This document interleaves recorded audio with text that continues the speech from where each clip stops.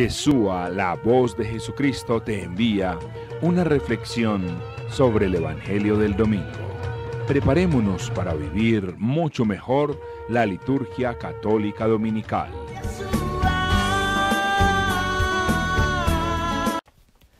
Qué gusto nuevamente compartir con todos ustedes la reflexión del Evangelio de este domingo. Evangelio donde el Señor nos empieza a preparar, donde nos invita a que nos miremos a nosotros mismos, porque se nos acerca un tiempo litúrgico muy especial. El próximo miércoles estaremos ya celebrando el miércoles de ceniza, iniciando la cuaresma. Y qué mejor manera que adentrarnos a profundizar, a estudiar el Evangelio de este domingo. Esa invitación de Jesús tan especial. Y antes de iniciar esta reflexión, yo los invito para que juntos oremos, para que juntos le pidamos a nuestro papá que nos regale su Santo Espíritu, que venga esa manera de ser de Él, esa manera de influir en los demás, esa manera santa que viene a iluminar nuestras oscuridades, para que este santo Evangelio verdaderamente nosotros lo podamos poner por obra. Y quiero iniciar con la reflexión que me dejó haciendo la primera lectura de la liturgia de este domingo que se encuentra en el libro del eclesiástico. Y es una invitación muy linda. Dice que debemos tener mucho cuidado, que debemos de tener mucha precaución, estar atentos a lo que esté saliendo de nuestra boca. ¿Y por qué me llama la atención esa reflexión? Esa palabra, porque cuando me fui a leer el Evangelio, Jesús va más allá. Jesús dice, ténganle cuidado mejor al corazón. Ténganle cuidado porque de lo que rebosa el corazón habla la boca. Y entendamos la palabra corazón bíblicamente. Lo que significa es el centro de las decisiones del ser humano el centro de las decisiones del ser humano. Y para que podamos entender esto, nos vamos a devolver un poco al comienzo del Evangelio, a preguntas que hace Jesús muy especiales al público al que está dirigiendo el Evangelio, que en esta oportunidad es a ti y es a mí. Y Jesús pregunta, ¿acaso puede un ciego guiar a otro ciego? ¿No caerán los dos en el hoyo? ¿Por qué te fijas en la mota que tiene tu hermano en el ojo y no reparas en la viga que llevas en el tuyo? Yo creo que la primera pregunta que habla de un ciego guiando a otro ciego, todos la podemos responder y ver claramente cuando vemos noticias, cuando escuchamos enseñanzas que hay en nuestro ambiente, cuando vemos decisiones en nuestro trabajo, y nos damos cuenta que verdaderamente este mundo está siendo guiado por ciegos, por personas que se creen dueños de la verdad, por personas que creen que el poder les corresponde solo a ellos, por personas que se creen los dueños del mundo. Y saben que es lo peor, que son ciegos que nos están guiando a nosotros para hacer lo mismo en nuestros hogares, en nuestro trabajo, con nuestros amigos.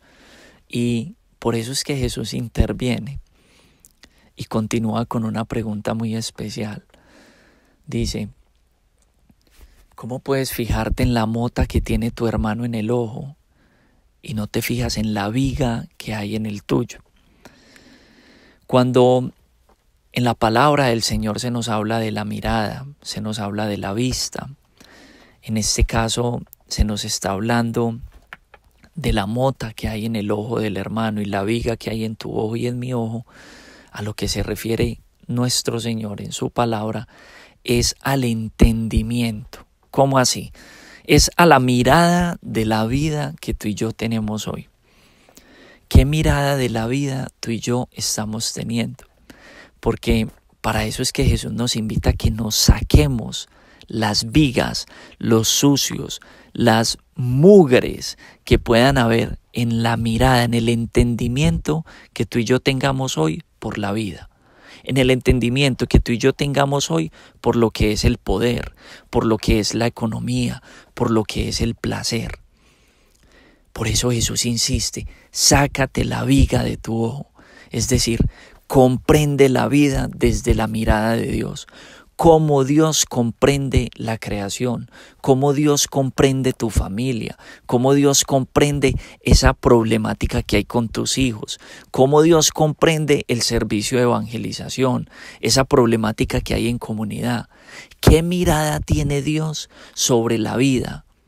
Es por eso que cuando tú y yo empezamos a sacar esos sucios de la mirada, del entendimiento, del lugar de donde salen las decisiones, que es el corazón, uno ya empieza a ver que lo que hay en el hermano es una simple mota y yo con esa mota puedo vivir.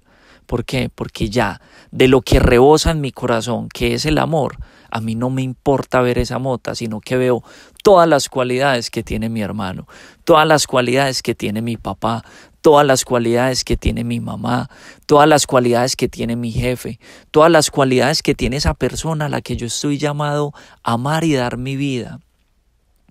Por eso la invitación de este domingo no es más que una invitación a que tú y yo nos empecemos a preparar para entrar en un desierto, un lugar donde Jesucristo nos viene con la ayuda del Espíritu Santo nos viene a ayudar, nos viene a salvar, a sacar de nuestro corazón toda la mugre que no nos deja comprender el plan de Dios en nuestras vidas.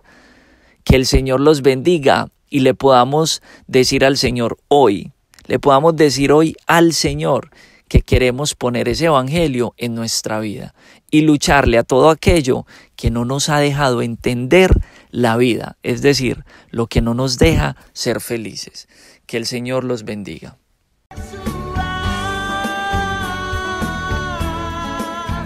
Visita nuestra página www.ebcyesua.org. Entérate de las diferentes actividades en los teléfonos 448-1530 y 422-1780.